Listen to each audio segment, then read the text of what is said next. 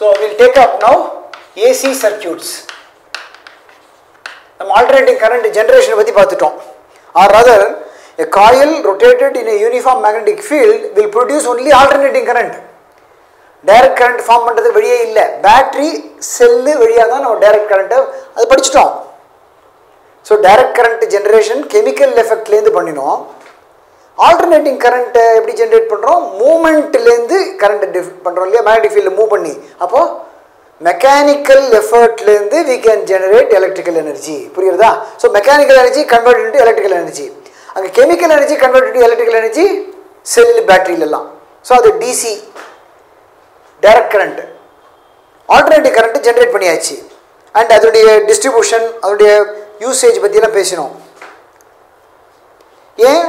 Alternative current is much useful than direct current generation பாயிண்டில் alternative current இருந்ததுன்னா டிரான்ஸ்ஃபார்மருங்கிற டிவைஸை வச்சுட்டு நம்மளால் கரண்ட்டை நல்லா சப்ரஸ் பண்ணிவிட்டு வோல்டேஜை ஸ்டெப் அப் பண்ணிவிட்டு டிரான்ஸ்மிட் பண்ணி வேண்டிய இடத்துல எவ்வளோ வோல்டேஜ் வருமா திருப்பி ஸ்டெப் டவுன் பண்ணி வேண்டிய கரண்ட்டை கொடுத்துட முடியாது ஸோ ஆல்டர்னேட்டிங் கரண்ட்டில் மட்டுமே அது பாசிபிள் ஏன் ஆல்டர்னேட்டிங் கரண்ட்டில் மட்டுமே பாசிபிள் அது?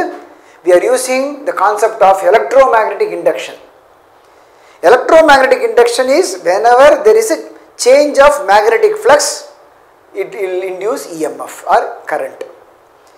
D direct கரண்ட்டில் சேஞ்ச் ஆஃப் மேக்னெட்டிக் ஃபீல்டுங்கிறது கிடையாது. ஸ்டெடி மேக்னெட்டிக் ஃபீல்டு தான் இருக்கும். கரண்ட் ஏன்னா ஸ்டெடி டைரக்ட் கரண்ட்டில் மேக்னிடியூடை குறைக்கலாம் கூட்டலாம் பட் அது கஷ்டம். டைரக்ஷனை மாற்றுறதுங்கிறது ஈஸி ஸோ நம்ம என்ன பண்ணுறோம் டிசிங்கிறது டைரக்ட் கரண்ட்டுங்கிறது எப்படி ரெப்ரசென்ட் பண்ணலாம் பார்க்குறீங்களா? நான் சொல்லட்டுமா? டைரக்ட் கரண்ட்டுடைய டிசியோடைய டெஃபினேஷன் என்ன? யூனி டைரக்ஷனல் கரண்ட் அப்படின்னு சொல்லலாம் இதை.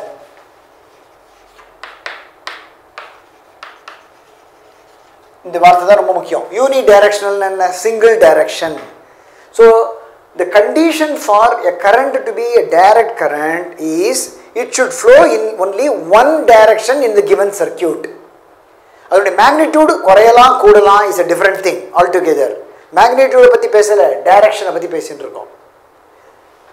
ஸோ யூனி டைரக்ஷனல் அப்படின்னா என்னாலும் ஒரே டைரக்ஷனில் மட்டுமே ஃப்ளோ ஆகிட்டு இருக்கிறது கரண்ட்டுக்கு பேர். ஸோ இப்போ நான் ஒரு எக்ஸாம்பிள் கிராஃபிக்கலாக ரெப்ரசன்ட் பண்ணலாமா? இது டைம் இது current I as time passes as time passesனா ஜீரோலேருந்து இன்க்ரீஸ் ஆகிறத கரண்ட்டை நான் ரெப்ரசன்ட் பண்ணியிருக்கேன் it is at I naught continuously throughout all the time தெரியுறதா இப்போது இன்னொரு ரெப்ரசன்டேஷன் கொடுக்குறேன்.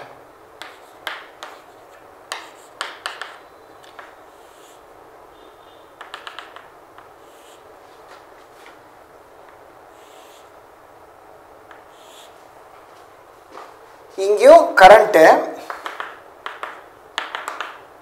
டிஃப்ரெண்ட் டைம்ஸில் டிஃப்ரெண்ட் மேக்னிடியூட்ஸில் ஃப்ளோ ஆகிட்டுருக்குன்னு அர்த்தம். தெரியுறதா? Let us assume this is some I naught value this is some I naught by டூன்னு எடுத்துக்கலாம். ரைட்டா ஸோ இந்த இதை வந்து இந்த டைமை T one T two T த்ரீன்னு இப்படி பிரிச்சுட்டா ஜீரோ டைம்லேருந்து டி ஒன் வரைக்கும் the current is at I naught. Suddenly at T1 it is brought down to I naught by 2 and continuously it is I naught by 2 till the time T2. At T2 it is slowly increasing to I naught value and at T3 it comes to exactly I naught and continuous. So this is a description of the graph which represents a current. I still call this DC current that is direct current. ஏன்?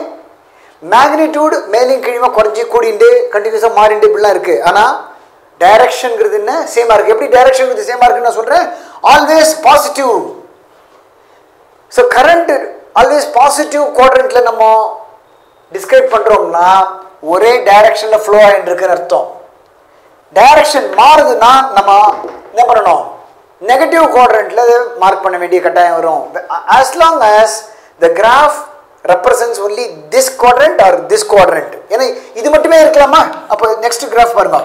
Next graph இது zero கரண்ட்டுக்கு இது I not இங்கே. So I வந்து various இப்படி இப்படி இப்படிலாம் போகிறது வச்சுங்க ஆ what is this it is still DC ஏ ஏ இது still DC it is always in the opposite direction அவ்வளோதானே ஒரே டைரக்ஷன் இருக்கு இந்த நெகட்டிவ்லேருந்து பாசிட்டிவ்க்கு ஷிஃப்ட் ஆகி போச்சுன்னா தான் டைரக்ஷன் மாறி இருக்குன்னு அர்த்தம். As long as the magnitude change direction does not change it is unidirectional current there therefore it is direct current புரியுறதா இதுவும் டைரக்ட் கரண்ட் தான். என்ன சார் நெகட்டிவ்ல கொடுத்துட்டு டைரக்ட் கரண்ட் சொல்கிறீங்கன்னா இது பாசிட்டிவ்ல கொடுத்தது ஒத்துக்கிற டேஸ் கரண்ட் அப்போ இது ஒரு இருக்க முடியும்? பாசிட்டிவ்னு எப்படி சொல்கிறோம் இந்த பக்கம் இருக்கிறது பாசிட்டிவ் நம்ம கன்வென்ஷன் வச்சுட்டு இருக்கோம். இதில் இந்த பக்கம் ஆல்வேஸ் இந்த டைரக்ஷன்லேயே பாஸ் பண்ணியிருக்குன்னு அர்த்தம். மேக்னிடியூட் சேஞ்ச் ஆகிட்டு இருக்கு. But always in one direction so this is the keyword for the description of direct current தெரியுறதா? இதுவே நம்ம பார்த்தோம் இல்லையா? ஜெனரேஷன் ஆஃப் எலக்ட்ரிசிட்டி அப்படின்னு பார்க்கும் பொழுது இஎம்எஃப் பார்த்தோம் ஐயும் பார்த்தோம் இல்லையா? இப்போ ஐயை மட்டும் நான் வரைகிறேன் I versus T or omega T வரையும் பொழுது என்னாச்சு? Sinusoidal that is i is equal to நான் எப்படி எழுதினேன்? I naught sin omega t எழுதினேன் இல்லையா? இது ஒமேகா டீன்னு எடுத்துக்கலாம் டீன்னு எடுத்துக்கலாம். ஒமேகா டீ எடுத்துட்டு அட்வான்டேஜ் என்னென்னா இது பை பை டூ இந்த point pi three pi by two two பைன்னு mark பண்ணுறது ஈஸி டீன்னு எடுத்துட்டா எப்படி மார்க் பண்ணலாம் கேட்குறீங்களா அது சொல்லி தட்டுமா? ஸோ இது ஜீரோ அப்போ இந்த பாயிண்ட் என்ன எழுதணும்? டி பை ஃபோர் இது என்ன கேபிட்டல் டி சொல்கிறேன் இந்த பாயிண்ட் எப்படி எழுதணும்? டி பை டூ இந்த பாயிண்ட் எப்படி எழுதணும்? த்ரீ டி பை ஃபோர் இது கேபிட்டல் டி ஸோ எக்ஸ் ஆக்சிஸில் டைம் ஆக்சிஸாக இருந்ததுன்னா டைம்லேயே தான் எல்லாத்தையும் கோட் பண்ணணும். ஒமேகா டீன்னு இருந்ததுன்னா இட் இஸ் ஆங்கிளில் ஒமேகா டீங்கிறது ஆங்கிள் தானே? அப்போது ஆங்கிள் ரேடியனில் கோட் பண்ணணும். புரியுறதா? இந்த டீயை பற்றி நான் சொல்லி தரதுக்கு முன்னாடி முதல்ல இது ஏசிங்கிறத ப்ரூவ் பண்ணிடலாமா? ரொம்ப ஈஸி ஏசிங்கிறது ஈஸி எப்படி? It is for zero to time T two it is magnitude is changing but direction of the current இதுன்னு அசியூம் பண்ணிக்கலாம். பாசிட்டிவ்னா இல்லை இப்படி தானே அசியூம் பண்ணிட்டோம் பாசிட்டிவ்னா இந்த டைரக்ஷன் தான் அசியூம் பண்ணிட்டோம். இது zero to T by two time வரைக்கும். After t by 2 time to capital T time that is t by 2 to t the current is in the varying in magnitude magnitude குறையிறது கூடுறது எல்லாம் பண்ணுது but எந்த டைரக்ஷனில் flow ஆகுது opposite டைரக்ஷனில் flow ஆகுதுல minus சொல்கிறோம்ல அப்போ same current changing it's direction you see this is the description of alternating current that is for some time alternating current definition is for some time the current flows in the circuit in one direction after some time it flows in the opposite direction then it flows in the forward direction backward direction etc so bidirectional union சொல்றோம் இங்க என்ன சொல்லலாம் நம்ம படிச்சிருக்கோம்ல இதெல்லாம் யூனி அப்படின்னா single பைனா two கெமிஸ்ட்ரியிலையும் use பண்ணுவோமே கார்பன் டைசல்ஃபைடு அப்புறம் ஹைட்ரஜன் டைசல்ஃபைட் பைங்கிறது எப்படி எங்கே யூஸ் பண்ணுவோம்? பைகார்பனேட் பைங்கிறது யூஸ் பண்ணுவோம் டையும் யூஸ் பண்ணுவோம். பைனாலே டூன்னு அர்த்தம். தெரியுறதா யூனினா சிங்கிள்னு அர்த்தம். ஸோ ஆல்டர்னேட்டிங் கரண்ட்னா ஸோ இப்போ பாருங்க நான் இன்னொன்று வேணா இன்னொரு டிஸ்கிரிப்ஷன் கொடுக்குறேன். What is this type of current is it DC or AC it is DC A? Always பாசிட்டிவ்ல தான் இருக்கு. தெரியுறதா சரி இது? இதுவும் டிசி ஏன்னா ஆல்வேஸ் நெகட்டிவ்லேயே இருக்கு. அதாவது ஒரே டைரக்ஷன் புரியுறதா so all this are DC and any kind of பாசிட்டிவ்ல variation நெகட்டிவ்ல வேரியேஷன் ஆல்டர்னேட்டிவ் பாசிட்டிவ் நெகட்டிவ்னு இருந்துகிட்டே இருந்தால் that is bidirectional so alternating current சொல்கிறோம் அப்போது unit directional direct current bidirectional alternating கரண்ட்டுங்கிறது clarity வந்தது? இப்போது இந்த டிஸ்கிரிப்ஷன் வித் கிராஃபோட இருந்தால் தான் நல்லா புரியும். இந்த டீங்கிற சமாச்சாரத்துக்கு வரேன் இப்போ. கேபிட்டல் டீனா யார்? அந்த சமாச்சாரத்துக்கு வரேன். ரொம்ப ஈஸி இது என்ன பண்ணுறோம் ஒமேகாங்கிறது என்னது? அந்த காயில் நம்ம ரொட்டேட் பண்ணுற ஆங்குலர் ஃப்ரீக்வன்சி ஆங்குலர் ஃப்ரீக்வன்சின்னு எப்படி எழுதலாம் சொன்னோம்? Two pi actual frequency nu what is nu nu is one by T so omega is இதெல்லாம் நம்ம மெக்கானிக்ஸில் படித்தது ஆசோலேஷன் வேவ்ஸில் படிச்சது இந்த ரிலேஷன்ஸ் எல்லாம். So omega is two pi by T தானே? அப்போ இந்த ஒமேகா டீன்னு வர இடத்துல நான் இதை சப்ஸ்டியூட் பண்ண என்ன ஆகும்? ஒமேகா டீங்கிறது இப்போ என்னது? Two pi by T into T கரெக்டா ஒமேகா டீங்கிறது என்ன? Two pi by T into T தானே? சரி அப்போ இது ஜீரோன்னா என்ன இருக்கும் இந்த ஸ்கேலு டி ஸ்கேல் இப்போ நான் டீயில் வரைய போகிறேன் நான் என்ன பண்ணணும்? இந்த இடத்துல ஒமேகா டி வரையல. டீயில் வரைகிறேன் ரைட் இப்போது ஒமேகா டி ஜீரோனா இதுவும் zero omega T pi by டூன்னு மார்க் பண்ணியிருக்கோம்ல இந்த இடத்த. அப்போ அது கரஸ்பாண்டிங்காக இருக்கிற டைம் நான் என்ன சொன்னேன்? டி பை ஃபோர்னு சொன்னேன் எப்படி? Omega T is pi by two அப்போ இது வந்து pi by two pi pi cancel ஆச்சா? அப்போது இந்த டீங்கிறது என்ன? இந்த டீ மேலே போகும். டூ கீழே வரும். டி பை ஃபோர் வந்துதா? புரியுறதா அப்புறம் ஒமேகா டி இஸ் பைன்னு சொன்னேன். இந்த இடத்துல இல்லையா? பை அப்போ பைன்னு சப்ஸ்டியூட் பண்ணும்பொழுது என்ன வரும்? Omega t is pi pi pi cancel ஆகும். அப்போ small t is t pi two so பைங்கிறது D by two தெரியுறதா ஸோ ஒமேகா டிங்கிறது தீட்டா ஆங்கிளால் டிஸ்கிரைப் பண்ணும் பொழுது the x axis is represent as radian zero pi pi two two pi three pi pi two two pi etcetera அதே time ஃபேக்டரில் நம்ம represent பண்ணும் பொழுது ஜீரோ பை பை டூக்கு கரஸ்பாண்டிங்காக டி பை ஃபோர் பைக்கு கரஸ்பாண்டிங்காக டி பை டூ அப்போ three pi by two கரஸ்பாண்டிங்காக three t pi four two pi கரஸ்பாண்டிங்காக D A omega two பையாக இருந்தால் டி என்ன ஆகும் தெரியுதா? டூ பையாக இருந்தால் டூ பையும் கேன்சல் ஆகிடும் அப்போ what is T T is to capital T the period தெரியுதா? One பீரியடுங்கிறது equal to an angle of two pi radians அதை வச்சுட்டு தான் அது ஒமேகாவே டிஃபைன் பண்ணுறோம் ஒன் பீரியட்னா டூ பை ஆங்கிள் அதுதான் ஒமேகாவோட டெஃபினேஷனு ஆங்குலர் ஃப்ரீக்குவன்சிங்கிறது என்ன? The angle travels in a given time புரியுறதா ஆங்கிள் ட்ராவல்ஸ் எப்படி? ஒரு ஃபுல் சர்க்கிள் வந்ததுன்னா ஒரு சைக்கிள் முடிஞ்சது சொல்கிறோம் இல்லையா? ஒரு ஃபுல் சர்க்கிள் வந்து what is angle travels three sixty degrees three sixty degrees தான் ரேடியன் எவ்வளோ சொல்லணும். டூ பை எவ்வளோ டைம் எடுத்து ஒரு சைக்கிள் முடிஞ்ச டைம் என்ன சொல்லுவோம்? ஒரு பீரியட் தானே சொல்லுவோம்? அப்போ ஒமேகாங்கிற டூ பை பை டி தான் எப்படி வருது இது மெக்கானிக்ஸில் படிச்சது இதெல்லாம். ஸோ தீட்டா இந்த ஒமேகா டி ஆக்சிஸ்லையும் பண்ணலாம் டி ஆக்சிஸ்லையும் இந்த டிஸ்கிரைப் பண்ணலாம். அதை அழிச்சிட்டு இது கொஞ்சம் ஃப்ரெஷ்ஷாக வரைகிறேன் கொஞ்சம் கவனிச்சுக்கலாம். இந்த டயக்ராம் மட்டும் ஃப்ரெஷ்ஷாக வரைய போகிறேன் புரிஞ்சுக்கிறதுக்கு. அதாவது ரெண்டு தனித்தனியாக வரைஞ்சு காமிக்கிறேன். அப்போ புரியும். சாரி இது கொஞ்சம் சைன்னா சைன் மாதிரி இருக்கணும். ஆ? சரி ஓரளவுக்கு. ரைட் இது வந்து ஒமேகா டி ஆக்சிஸாக இருந்ததுனால் ஒமேகா டிங்கிறதுனா தீட்டான்னு சொல்கிற ஆங்கிள் அப்போ இது zero pi by two pi three pi by two அதாவது two seventy degrees then two pi three sixty degrees அதே நம்ம ஐயை எப்படி மார்க் பண்ண போகிறோம் டி ஆக்சிஸில் மார்க் பண்ண போகிறோம்னா அதே situation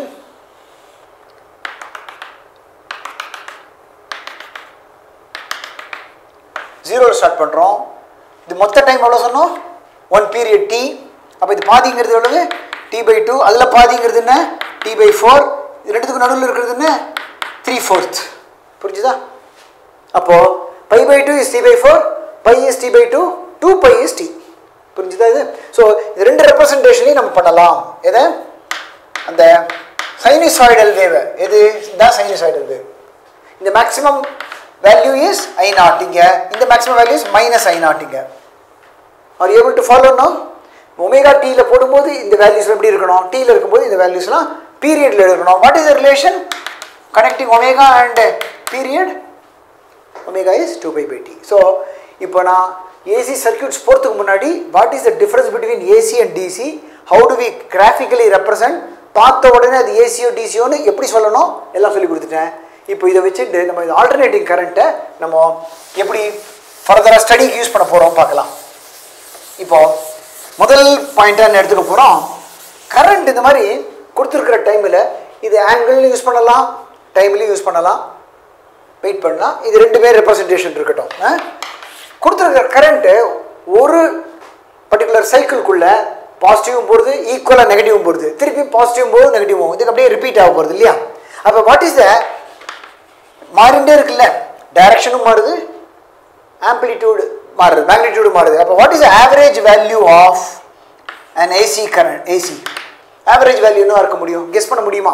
C how how much value positive போகிறதோ சேம் அமௌண்ட் ஆஃப் நெகட்டிவ் போகிறது இல்லை சப்போஸ் இது பார்த்தோன்னே ஒரு ஜென்ரல் நாலேஜ் ஆவரேஜ் எடுத்தால் ஜீரோ தான் வரணும். ஆவரேஜ் எடுத்தால் ஜீரோ தான் வரணும். வருமா ஜீரோ ஆவரேஜ் வேல்யூஸ் ஜீரோ பார்த்தா புரியுறது. எப்படி ப்ரூவ் பண்ணுறது இதை? ப்ரூவ் பண்ண முடியுமா? சரி ஸ்டாட்டிஸ்டிக்ஸில் நம்ம ஆவரேஜ்னால் என்னன்னு படிக்கணும். அப்போ தான் புரியும். ஆவரேஜ் கண்டுபிடிக்கிறது இப்படி ஒரு குவான்டிட்டிக்கு அது புரியணும். அதில் ஒரு integration continuous function discrete function ரெண்டு வரும். நான் அது கண்டினியூஸ் வேரியபிள் டிஸ்கிரீட் வேரியபிள் அப்படிலாம் வரும். இப்போ கண்டினியூஸ் வேரியபிள் கண்டினியூஸ் வேரியபிள்னா இன்டகிரேஷன் வரணும். டிஸ்கிரீட் வேரியபிள்னா சம்மேஷன் வரணும். இதெல்லாம் மேத்தமேட்டிக்ஸில் படித்தது இதில் கால்குலஸில் ஸ்டாட்டிஸ்டிக்ஸ் யூஸ் பண்ணணும். ஏன்னா ஆவரேஜ் மீன் மீடியன் மோடு இதெல்லாம் படிக்கிறதுல எங்கே? ஸ்டாட்டிஸ்டிக்ஸில் மேத்தமெட்டிக்ஸ் ஸ்டாட்டிஸ்டிக்ஸில் ஸ்டாட்டிஸ்டிக்ஸில் ஆவரேஜுங்கிறது இந்த ஆவரேஜுங்கிறதாலும் சரி மீன்னாலும் ஒன்று தானே? மீன் வேல்யூனாலும் ஒன்று தானே? What is the definition of average value ஐக்கு ஆவரேஜ் கண்டுபிடிக்க போகிறோம்னா ஐ ஆவரேஜ் இப்படி எழுதலாம்.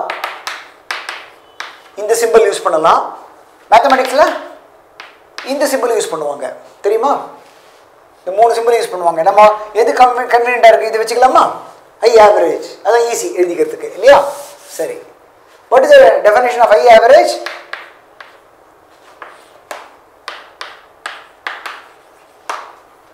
புரியுதா? இதுதான் average that is I multiplied with time DT instantaneous கரண்ட்னு சொல்லுவோம் இதை. இன்ஸ்டன்டேனியஸ் என்ன? இப்போ இந்த பர்டிகுலர் டைமில் என்ன கரண்ட் அது கரெக்டாக சொல்லி கொடுக்கும். இப்போ இந்த டைமை இதுக்குள்ள எந்த கரண்ட் இது இந்த கரண்ட் வேல்யூ கொடுக்கும் புரியுதா? இன்ஸ்டன்டேனியஸ் கரண்ட்னு பேர். So instantaneous current IDT so இது வந்து எப்படி எழுதுவோம்? IDT integral by integral DT இதான் இப்போ integral DT zero to T இது ஜீரோ டு டி ஒன் சைக்கிளுக்கு எழுத போகிறோம் one சைக்கிளுக்கு average value in one cycle of operations எடுத்துக்கலாம். அதான் ஜீரோ இது. புரியுறதா அது எப்படி ப்ரூவ் பண்ணுறது பார்த்தா தெரியுதுன்னு சொல்லலாம். மேத்தமெட்டிக்கல் எப்படி போடுறது இதான் procedure this is the definition of average in statistics இப்போ இன்டெக்ரல் ஜீரோ டு டி டிடிங்கிறது என்ன? அதான் ஒன் பை டின்னு எழுதியிருக்கேன். தெரியுதா? இந்த இன்டகிரேஷன் நியூமரேட்டரில் டினாமினேட்டர்லையும் இப்போ இது பண்ணலாமா? ஒன் பை டி இது அப்படியே இருக்கட்டும். இது இன்டகிரேட் பண்ணோம் ஜீரோ டு டி ஐ என்னது? I naught I naught is a constant so வெளியில் எடுத்துடலாம். சைன் ஒமேகா டி டிடி புரியுறதா சைன் ஒமேகா டி டிடி அப்போ I naught by T integral of sin theta integral of sin theta is minus cos theta correct differential of cos theta in minus sin theta differential of cos theta is minus sin theta integral of uh, minus sin theta will be cos theta so integral of sin theta will be minus cos theta புரியுறதா ஒரு differentiation தெரிஞ்சா ஒரு integration தெரியணும் ஒரு differentiation முடிஞ்சால் ஒரு integration படித்த மாதிரி தான் கணக்கு இன்வெர்ஸ் ஆப்ரேஷன்ஸ் இல்லையா? ஸோ இது என்ன வேல்யூ வரும்? மைனஸ் போட்டுக்கிறேன். இதை மைனஸ் எடுத்துக்கிறேன். அப்புறம் இது என்னது? தீட்டான்னு இருக்குது ஃபங்க்ஷன் ஆஃப் அ ஃபங்க்ஷன் இல்லையா? அப்போ ஒரு ஒமேகா வரும். எங்கே வரும்? டிஃப்ரென்ஷியேட் பண்ணினா ஒமேகாவால் மல்டிப்ளை பண்ணுவோம். இன்டகிரேட் பண்ணால் ஒமேகாவில் டிவைட் ஆகும். தெரியுறதா so minus one by omega என்ன வரணும் அப்புறம்? Cos omega T limits apply பண்ணணும் இல்லையா? ஜீரோ டு டி அப்ளை பண்ணலாமா? So what is cos omega capital T minus cos zero கரெக்டா இந்த இல்ல- இதை மட்டும் நான் போடுறேன். இதெல்லாம் அப்படியே இருக்கட்டும். இது சரி எழுதிக்கலாமா எழுதிக்கலாம். I naught by omega T கரெக்டா minus I naught by omega T இது. இப்போ லிமிட்ஸ் அப்ளை பண்ணியிருக்கிறது புரிஞ்சுதா? ம்? Cos omega T omega capital T upper limit omega zero cos zero lower limit what is cos omega T what is what is omega t first omega is 2 pi bt இப்போ omega t is cos 2 pi தெரியுறதா cos 2 pi what is value of cos 2 pi 1 cos 2 pi 1 what is the value of cos 0 அதுவும் 1 அப்போ என்னாச்சு 0 இப்போ what is average value 0 புரியுறதா இதுவும் one one minus one zero so average value மேத்தமெட்டிக்கலாக எப்படி நம்ம ஜீரோன்னு ப்ரூவ் பண்ணோம் தெரியறதா? அப்போது ஆவரேஜ் வேல்யூ பார்த்தாலே தெரியுது மேத்தமெட்டிக்காக ப்ரூவ் பண்ணிட்டோம். சரி நான் ஒரே ஒரு உங்களுக்கு ஹோம்ஒர்க் ஒன்று கொடுக்குறேன். What guy find the average value homework இது. Of I in one half cycle one half சைக்கிள்னு என்ன அர்த்தம்? இதர் இந்த டைமுக்குள்ள ஜீரோ டு டி பை டூக்குள்ள ஆர் டி பை டூலேருந்து டீக்குள்ள இதான் ஒரு இது ஒரு பாசிட்டிவ் ஹாஃப் சைக்கிள்னு பேர். அதாவது கரண்ட் பாசிட்டிவாக இருந்ததுன்னா அந்த சைக்கிளுக்கு பேர். அப்போ இது ஃபுல் சைக்கிள் இது. அப்போ இது ஹாஃப் சைக்கிள் தானே சொல்லுவோம். அப்போ பாசிட்டிவ் ஹாஃப் சைக்கிள் பேர் இது. இது நெகட்டிவ் ஹாஃப் சைக்கிள் பேர். அப்போ one half cycle any one half cycle சரி நம்ம என்ன பண்ணுறேன் பாசிட்டிவ் ஹாஃப் சைக்கிள்னே கொடுக்குறேன். அப்போ இதனுடைய லிமிட்ஸ் என்ன ஆகணும் zero to T by two பண்ணணும் ஜீரோ ஆகாது answer answer is not zero ஃபைன்னு சொல்லியிருக்கேன். It's not zero so not equal to zero home ஒர்க்காக பண்ணி பார்க்கலாம் நீங்கள் நாட் ஈக்குவல் டு ஜீரோ ஏன்னா இதில் பெரிய ஒன்றும் இன்ட்ரெஸ்ட் கிடையாது. What is therefore interesting average value in one cycle ஜீரோனா ஒரு சைக்கிளுக்கு வேறு ஏதாவது வேல்யூ ஒன்று டிஃபைன் பண்ணி ஜீரோ இல்லாமல் இருந்தால் அதை தான் நம்ம எடுத்துக்க போகிறோம் அது என்னது வேற ஒரு கரண்ட்டு அதாவது ஆல்டர்னேட்டிவ் கரண்ட்டோட வேற ஒரு ப்ராப்பர்ட்டி இன் ஒன் சைக்கிளுக்கு ஆவரேஜ் ஆவரேஜ் எடுக்க முடியாது. ஒன் சைக்கிளுக்கு ஆவரேஜ் தான் ஜீரோ ஆகிடுது அந்த குவான்டிட்டி ஒன் சைக்கிள் எடுக்கும்போது ஜீரோ ஆகாமல் இருக்கணும். What is that quantity called that quantity is called RMS current இது என்ன RMS R stands for root mean square so mean தான் மீன் தான். ஆக்சுவலி மீன் வேல்யூ எடுத்தால் ஜீரோ ஆகிடுது வேற நம்ம என்ன பண்ண போகிறோம் mean of square of the current எடுத்து பார்க்கலாம் ஒரு சைக்கிளில் இது மீன் ஆஃப் த கரண்ட் இது. இதோடைய ஆர்எம்எஸ் உடைய இது அகெயின் ஸ்டாட்டிஸ்டிக்ஸில் மேத்தமெட்டிக்ஸ் ஸ்டாட்டிஸ்டிக்ஸில் வருது தான். RMS வேல்யூங்கிறதுலாம் so mean of the square முதல்ல கண்டுபிடி. கரண்ட்டை ஸ்கொயர் பண்ணிட்டோம் இல்லையா? அப்போ ஆம்பியர் ஸ்கொயர்னு ஆகிடும் அது. நம்ம கரண்ட் தானே வேணும். அப்போ என்ன பண்ணுறது ஸ்கொயர் ரூட் எடு திருப்பியும். அதாவது ஸ்கொயர் பண்ண முதல்ல ஆவரேஜ் கண்டுபிடி ஸ்கொயர் ரூட் கண்டுபிடி. இப்படி வரணும். அதுதான் இது அர்த்தம். ஆர்எம்எஸ் தான். ஸோ முதல்ல ஸ்கொயர் பண்ண அர்த்தம்? ஐ ஸ்கொயர் புரியுறதா ஸ்கொயர் அதோடைய மீன் கண்டுபிடின்றான். அப்போ மீன் கண்டுபிடினா என்ன பண்ணோம்?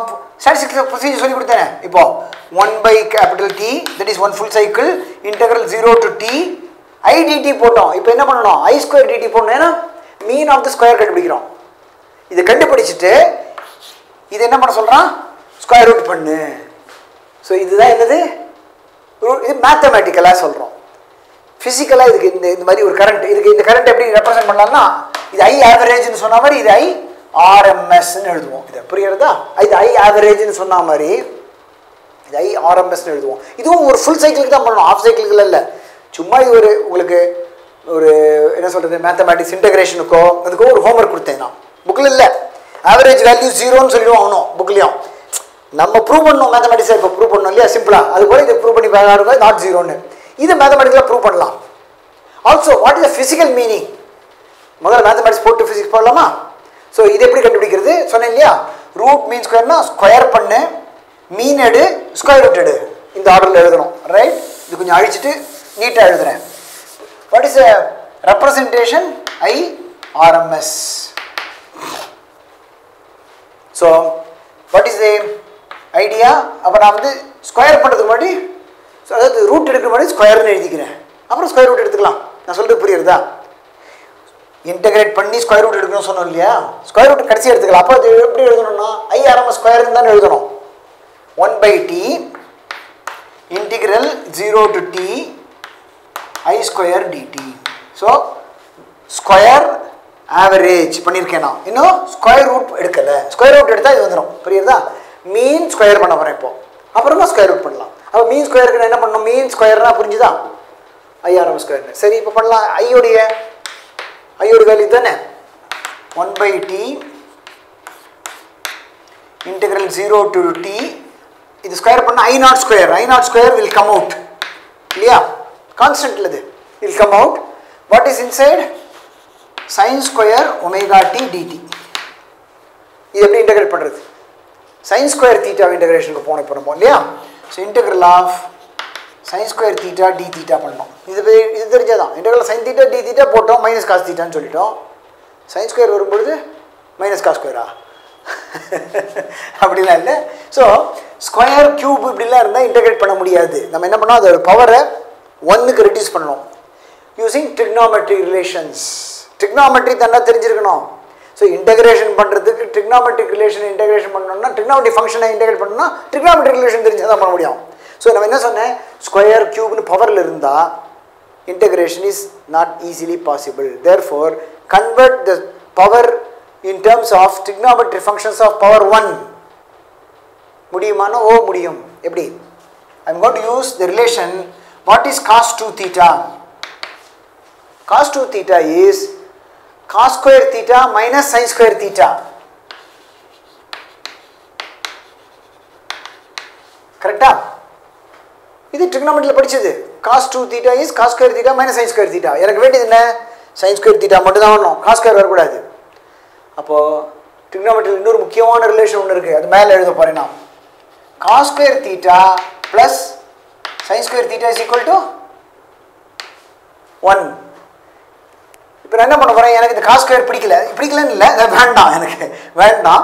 அப்போ இதையும் சைன் ஸ்கொயரில் எழுத முடியுமாண்ணா cos square is one minus sine square கரெக்டாக அப்போ one minus sine square minus sine square என்ன ஆகும் ஒன் மைனஸ் இதெல்லாம் எப்போ போட்டது தான் நான் சரி திருப்பியும் மறந்து போயிருக்கலான்னு நிதானம் எழுதிட்டு இருக்கேன். இப்படிலாம் எழுதாமல் எழுதக்கூடாது. ஏன்னா கடவுள்னு எழுத முடியணும். சரி one minus two sine square theta எனக்கு வேண்டியது என்ன? சைன் ஸ்கொயர் தீட்டா மட்டும்தான். முதல்ல இந்த டூ சைன் ஸ்கொயர் தீட்டாவை இந்த பக்கம் கொண்டா பாசிட்டிவ் ஆகிடுமா அப்போ two sine square theta is equal to one minus cos two theta sine square தீட்டாங்கிறது by two சரியா? இப்போ பாரு நம்ம என்ன பண்ணோம் trigonometry function more than power ஒன்னாக இருந்ததுன்னா சிங்கிள் பவரை மாற்றிட்டேன் ஸோ இது என்னாச்சு? Integral one minus cos two theta by two D தீட்டான்னு ஆகிட்டு இருந்தா இப்போ? இது ரெண்டு இன்டகிரேஷனாக பிடிச்சிக்கணும் one by two integral D theta minus one by two common வெளியே எடுத்துடுறேன். இந்த ஒன் பை டூ காமன் அப்போது integral t theta minus integral cos two theta t theta சரியா? சரியா? ஸோ சைன் ஸ்கொயர் வரும்பொழுது என்ன பண்ணணும் புரிஞ்சுதா? இப்போ நான் இங்கே இங்கே வந்துடலாமா? This is therefore I naught square by T integral of sine square theta என்னாச்சு? ரெண்டாக பிரிஞ்சிருதுல? ஒன் பை டூ காமனா ஒன் பை டூ காமன் எடுத்துட்டேன். ஓப்பன் ப்ராக்கெட் ரெண்டு இன்டகிரேஷன் இருக்குது இன்டெகிரல் டி தீட்டான்னு வந்திருக்கு. தீட்டாங்கிறது இங்கே யார்? Omega T so omega T DT எழுதணுமா? எப்படி எழுதணும்னா? வெறும் டீன்னு எழுதணுமா? நான் சொல்றது இந்த குழப்பம் வருது புரியுறதா இங்கே? இப்போ என்ன பண்ணணும் நம்ம? இன்டர்வல் ஆஃப் டி தீட்டா டீட்டான்னு எழுதுறோம் இல்லையா? அப்போ ஒமேகா டீன் வந்து டிடின்னு வரும்போது இது என்ன எழுதியிருப்போம் one minus two omega T அப்படி தான் எழுதியிருப்போம் ஸோ இன்டர்வல் டிடி தான் இது. இந்த டி தீட்டா டூ ஒமேகா டின்னு சப்ஷன் பண்ணக்கூடாதுங்க. புரியுறதா? So what is sine square omega T one minus cos two omega T by டூன்னு ஆயிருக்கும் அவ்வளோதான் புரியுறதா? இந்த இடத்துல தீட்டாவை சப்ஸ்ட் பண்ணோம். அப்போ one minus cos two omega T by டூன்னு இருக்கும். அப்போ ஒன் பை டூ அப்படியே தானே இருக்கும்? அப்போ இங்கே டிடின்னு வந்திருக்கோம். அப்போ இன்டெகிரல் டிடி இது புரியுறதா? அப்புறம் next minus integral zero to capital T இந்த இது வரணும். Cos two omega T DT பழிச்சிடலாமா இதை? இது இங்கே சப்ஷன் பண்ணியாச்சு. கழிச்சிடலாம் அதெல்லாம் ஏற்கனவே தெரிஞ்சது. அதை போய் நம்ம ரொம்ப டீட்டெயிலாக சொல்ல வேண்டாம். போனால் போகிறது இன்றைக்கி மறந்து போயிருக்கலாம்னு சொல்லி கொடுத்துட்டுருக்கேன் ரைட் இது எப்படி வந்தது? புரிஞ்சுதா இப்போது இது ஈஸி இன்டகிரேஷன் இல்லையா? ஜீரோ டு இது zero to T DT it give you T so I naught square by two T இது இது இது இதை கம்ப்ளீட் பண்ணி வைக்கிறேன். Open bracket this going to give you T minus cos இது ப்ராக்கெட் போட்டால் க்ளீனாக இருக்கும். தப்பில்லாமல் பண்ணுவோம். காஸ் தீட்டா டி தீட்டான்னு இருந்தால் என்ன வரும்? Sine theta cos theta integral cos theta D theta is sine theta function of function இருந்தால் இன்டகிரேஷனில் இந்த கான்ஸ்டன்ட் என்ன கீழே வரும். டிஃப்ரென்சியேஷனில் டூ ஒமேகான்னு மல்டிப்ளை ஆகும். கீழே வரும். Sine two omega t limits zero to t தெரியுறதா? எப்படி வந்தது? புரியுறதா? Integral of cos theta is d theta is sine theta two omega இருக்கிறது டூ ஒமேகா கீழே வந்துடும் so what is this value பார்க்கலாமா? Sine two omega t t அப்போ இது மட்டும் நான் பண்ணுறேன் sine two omega capital T minus sine zero sine zero நமக்கு தெரியும் zero what is two omega பார்த்தோன்னே two omega sorry what is omega T omega T is two pi two into two pi sine four pi what is sine four pi zero. Sin 4 pi is 0 sin 0 0 2 pi pi 0 2 pi 0 3 pi 0 4 pi 0 all n pi is 0 sin n pi. அப்படின்னு என்ன அர்த்தம்? Sin n pi is 0 என்னங்கிறது என்ன? 0 1 2 positive சொல்லலாம் negative சொல்லலாம். All integer values of n sine n pi is zero so இது இது zero தெரியுறதா? Zero எடுத்து தெரியுறதா? அப்போ பாக்கி இருக்கிறது என்ன? இவ்வளோ தான் அப்போ டிடி கேன்சல் ஆகிடும் but is answer I naught square by two அதாவது I RMS square is I naught square by two இப்போ இது ஸ்கொயர் ரூட் எடுக்கணும். அப்போ தான் ஆர்எம்எஸ் வரும். புரியுறதா? இது எப்படி போட்டது? கவனிச்சியலா? இதுக்கு எப்படி மாறினோம் தெரியுமா? அப்புறம் இது ஏன் ஜீரோ வருதுன்னு புரிஞ்சுதா? அழிச்சிடுறேன் இப்போ. ஸோ தி மீன் ஸ்கொயர் கண்டுபிடிச்சிருக்கோம்.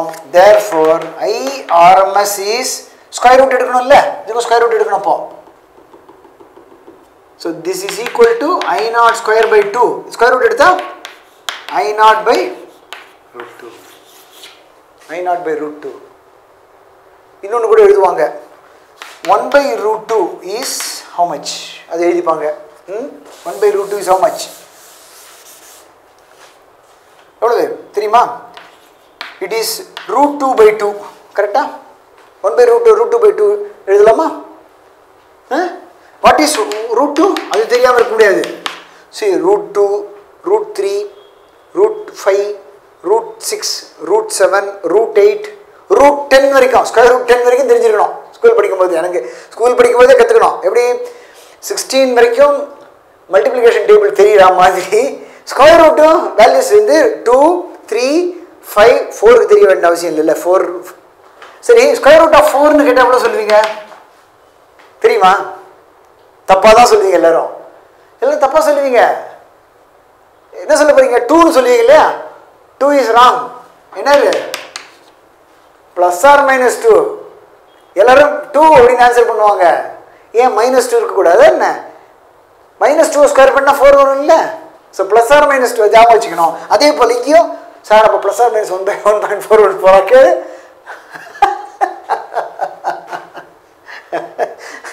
பண்ணி பார்க்குறோம் அது plus or minus one by one point four one ஃபோரா sir அப்போ minus one point four one four square பண்ணினா டூ தான் வரும். கரெக்ட் தான்.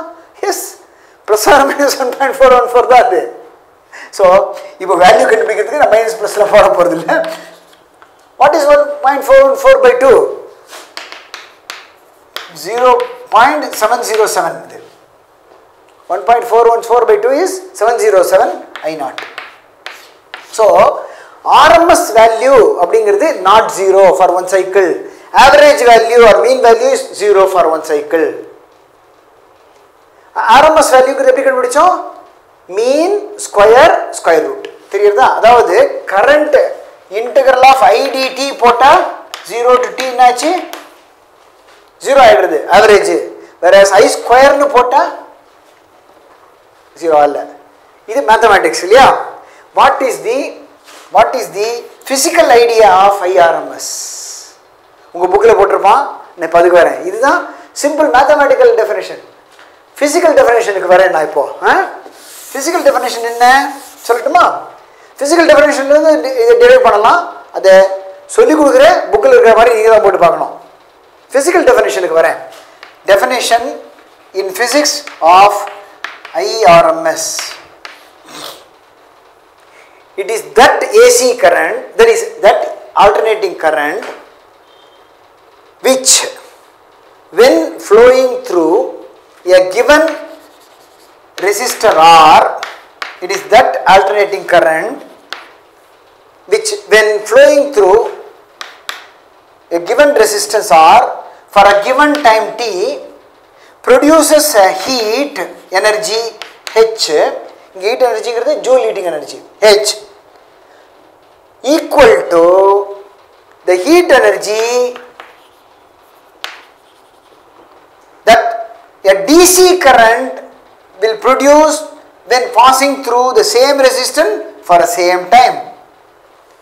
The definition புரியுறதா it is that AC current ஐஆர்எம்எஸ்க்கு பேசிட்டு இருக்கேன் it is that AC current which when flows through a given resistor for a given time produces that amount of heat energy as a DC current flows for the same time through the same resistor So heat energy joule heating energy இல்லையா?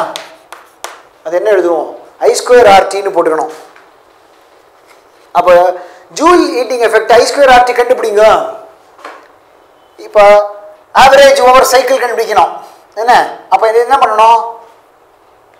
I square R T for given time சொல்லியிருக்கோம். ஏ போய் இன்டகிரேஷனுக்குள்ளே கொண்டு போயிடக்கூடாது டீயை இதுதான் ஒரு பிரச்சனை. அதனால தான் நான் வந்து அந்த புக்கில் இருக்கிற மாதிரி நான் எடுத்துகிட்டு போகல. அந்த டீ வந்து ஃபார் அ கிவன் டைம்னு சொல்லியிருக்கோம். இந்த டீயும் இந்த இன்டர்கலில் வர டிடியும் சேம் நசி பண்ணிட்டு போயிடக்கூடாது. மாட்டிப்போம் இப்போ இந்த இன்டர்கல் பண்ண வேண்டியது என்னென்னா ஒரு ஃபுல் சைக்கிளுக்கு ஐ ஸ்கொயர் தான் இன்டகிரேட்டட் டிடி பண்ணணும். அதாவது இதை பண்ணணும்.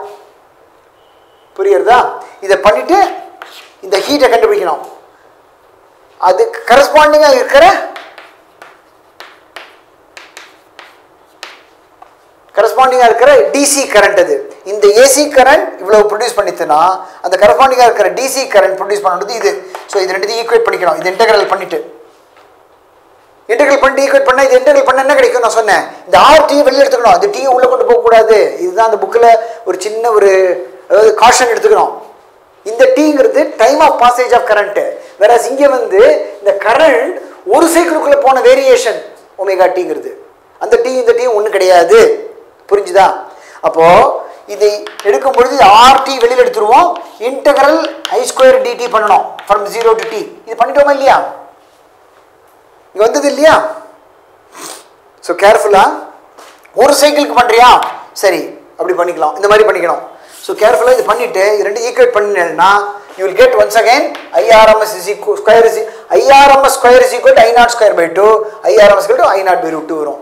புக்கில் எப்படி ஹீட்டை பற்றி போட்டிருக்கான் அதை நீங்கள் போட்டு பார்க்கணும். நான் பியூர் மேத்தமேட்டிக்ஸில் ஐஆர்எம்எஸ் உடைய ஸ்டாட்டிஸ்டிக்ஸ் டெஃபினேஷன்லேருந்து கொண்டு வந்திருக்கேன். இதுலேயும் ஃபிசிக்கல் டெஃபினேஷன்லேருந்து கொண்டு வர முடியும். இதே இன்டகிரேஷன் தான் இன்வால்வ் ஆகும். இந்த இன்டகிரேஷன் அந்த எப்படி சயின்ஸ் ஸ்கொயர் வந்தது? Sine square one minus cos two theta by two போட்டோம்ல அதெல்லாம் வரும்.